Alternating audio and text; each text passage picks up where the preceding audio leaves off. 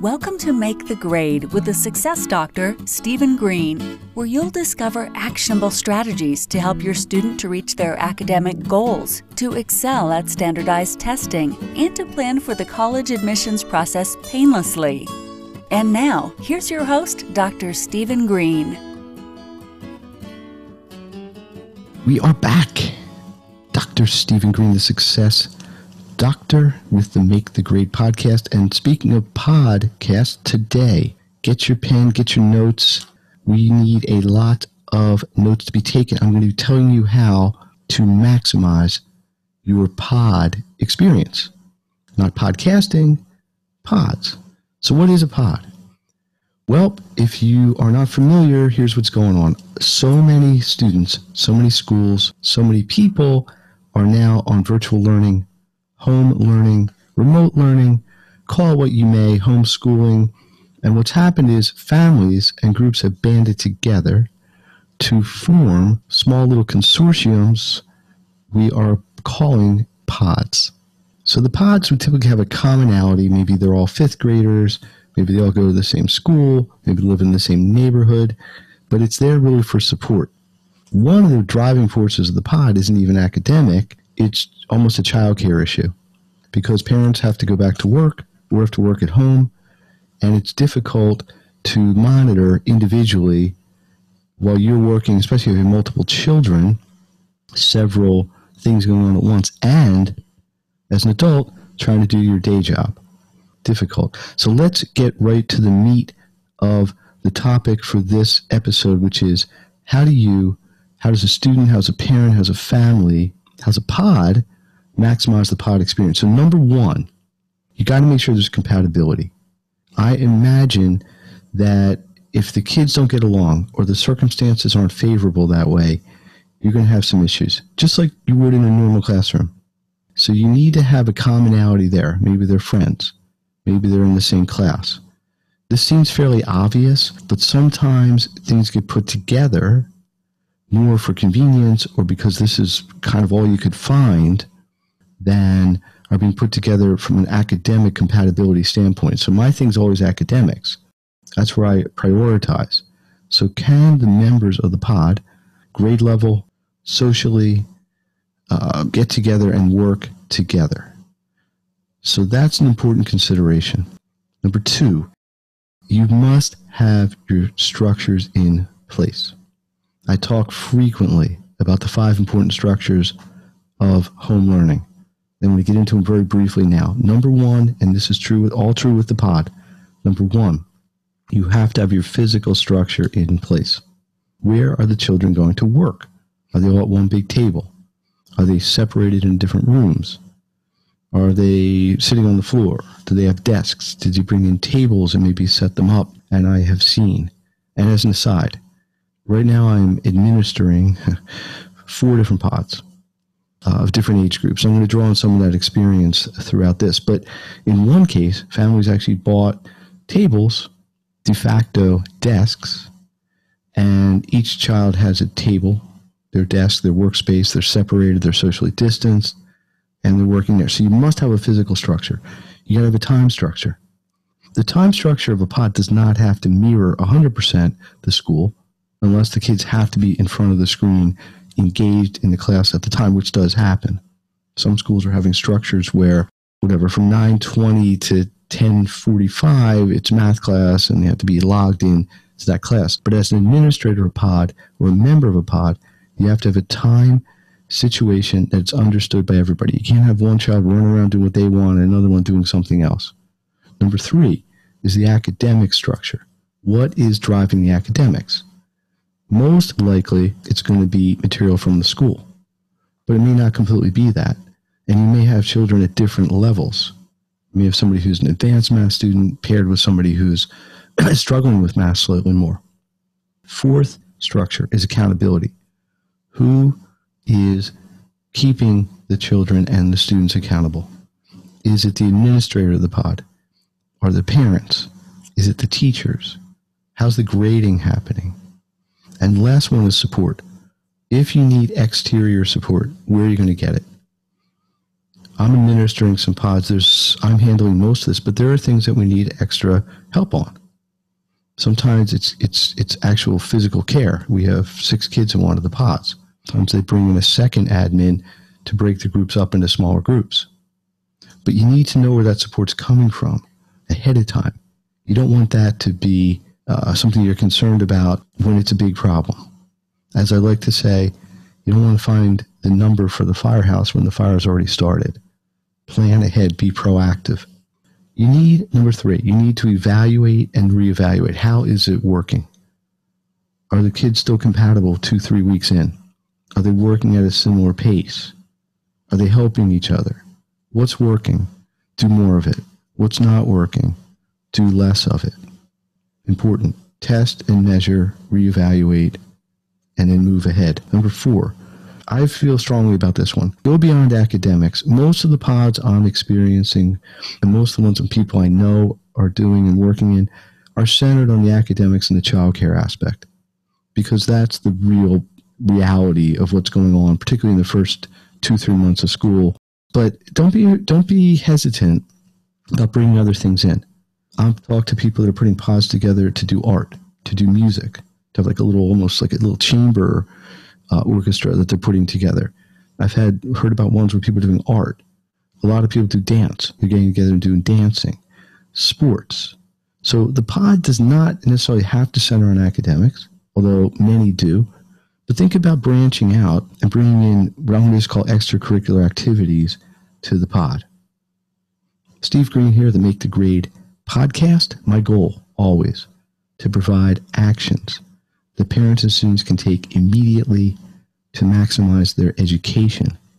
Talking today about pods, how to get the most out of your pod. Speaking of maximizing, how do you maximize your pod experience? Number five, set goals. Set individual goals for each member of the pod. Set collective goals for the pod as a group. Where do you want everybody to be at the end of each week? Where do you want the group to be at the end of each week? Where do you want to be each day? This falls back on the accountability structure. You can't just set a goal after it's happened. You got to set a goal. So when the pod's on running, Monday we sit down, we get together. What are we going to accomplish this week? We've got all the school things. Yeah, yeah, yeah. Check, check, check. But what else are we going to do? Are We're going to get better at our time management. We're going to get better taking notes. We're going to get better working together, cooperating. There's tangibles, there's intangibles. There's subjective, there's objective.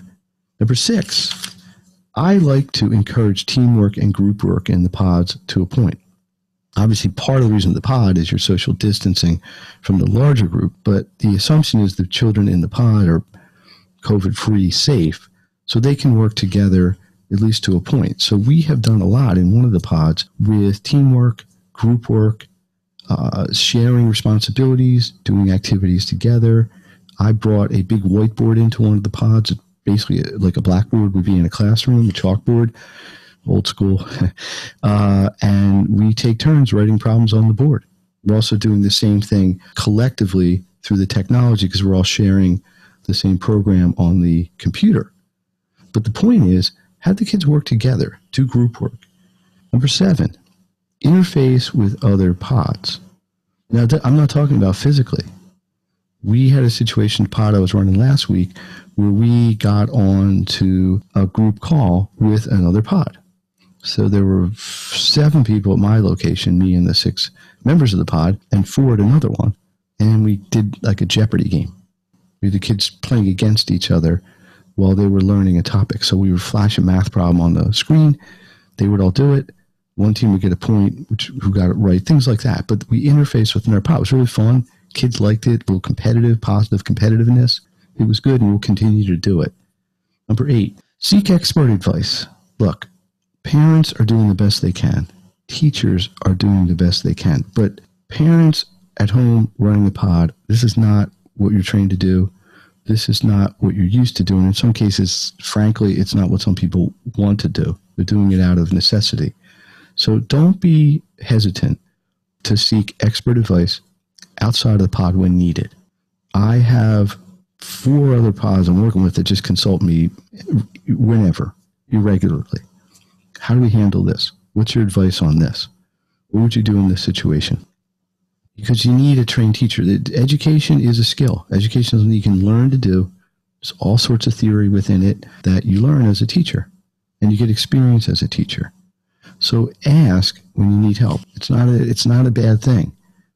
Number nine, interface with teachers, which c- could be an 8B. But the teacher, in this case, I mean the students' teachers, the children in the pods' teachers.